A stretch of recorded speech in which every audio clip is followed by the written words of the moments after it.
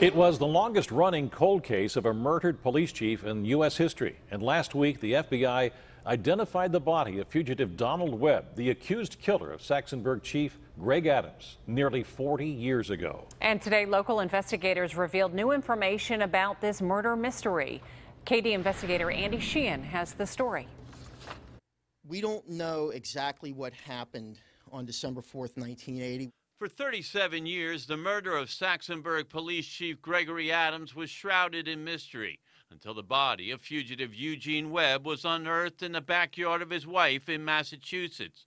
And still today, new details emerged. But what we didn't realize until this investigation really unfolded in the last few weeks is the hero that Chief Adams actually was, because he really fought for his life that day. It's long been known that Adams and Webb struggled during a traffic stop with Webb hitting Adams several times over the head with a blunt object. But while it was thought that Adams may have shot Webb, now it's been determined that Adams broke Webb's leg and severely ripped his lip. Donald Webb, uh, because of this, lived in seclusion for the remainder of his life in permanent pain with permanent disfigurement. So if there was any justice, in 37 years, Chief Adams actually delivered the justice himself. Webb was forced to live in his wife Lillian's basement and spent much of his time in a secret room the size of a shower stall. He pretty much lived like a dog cowering in a, in a basement uh, as a coward for the rest of his life.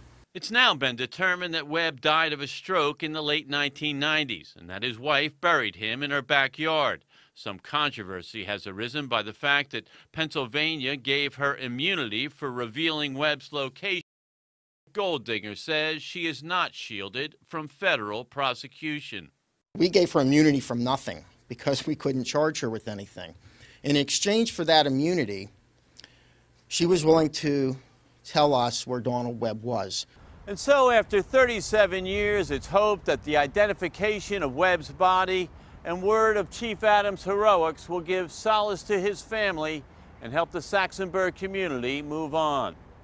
Reporting downtown, Andy Sheehan, KDKA TV News.